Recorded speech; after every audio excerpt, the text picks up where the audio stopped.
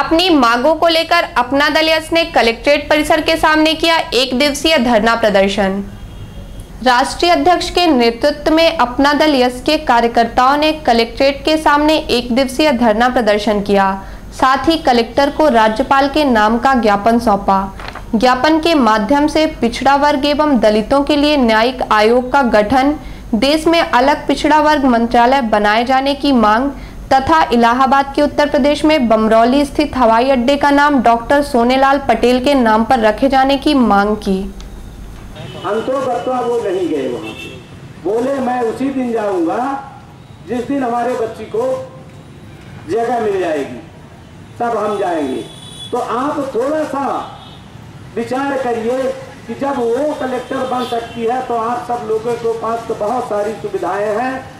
हम जो फालतू में अपना समय पैसा धन विचार इधर उधर लगा देते।